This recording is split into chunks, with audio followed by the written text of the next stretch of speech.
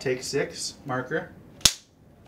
Whales sequester 33 tons of carbon in their lifetimes, so part of what would help in fighting climate change is effective whale preservation. We made MOVI, which is a non-invasive data tag New York City has a, a, large water supply wastage issue. We do lose around 16 and 24 percent of it every year. Once we realized that we could get in through fire hydrants, it felt like a, an epiphany moment. Housing is not just about buildings, it's about wastewater and it's about recreational space. And so in designing infrastructure, you can't just design a building, you need to think about those other components.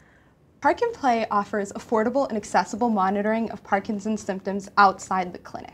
Something that I think Engineering for Humanity, I think we learned throughout our experience is that we should be designing products that really help people and people should be the center of our designs.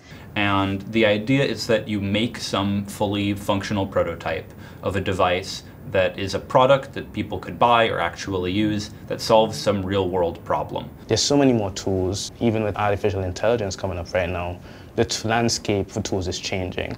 Getting from problem to solution is engineering for me. Maybe you'll see it on a whale, a whale near you.